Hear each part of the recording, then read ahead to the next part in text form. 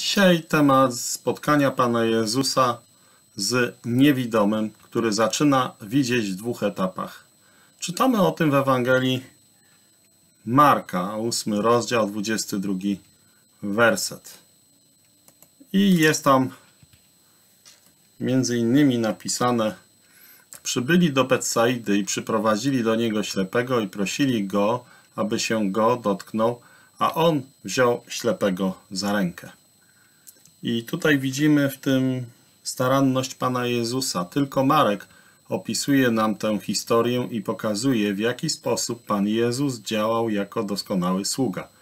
Jego pełen miłości stosunek do niewidomych został wyrażony w krótkich, prostych słowach.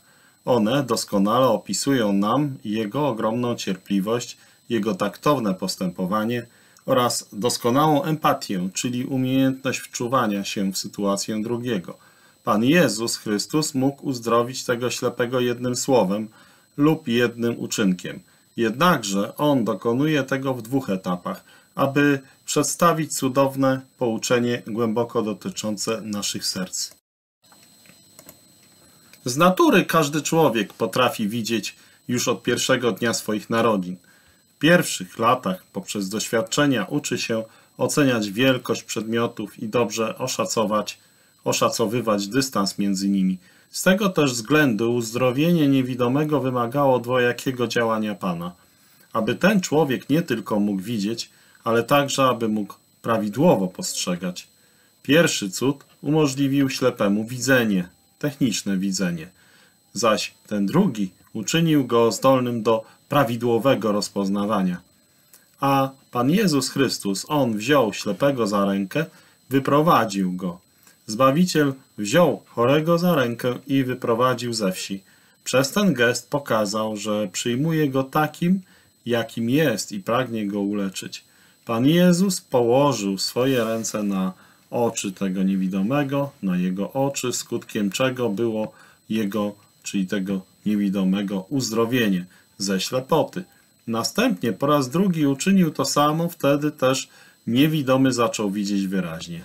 Poprzez słowo o krzyżu w wieku 12 lat w pierwszym etapie przyszedłem w wierze do Pana Jezusa.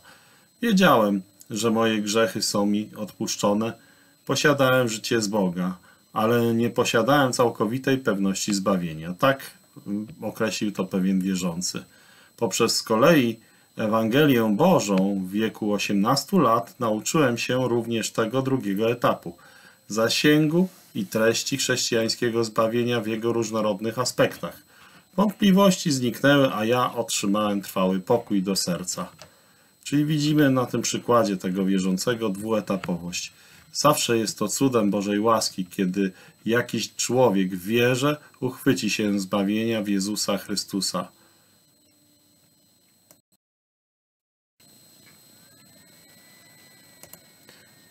I zawsze jest to cudem Bożej łaski, kiedy jakiś człowiek wierze uchwyci się zbawienia w Jezusie Chrystusie, w Panu Jezusie Chrystusie.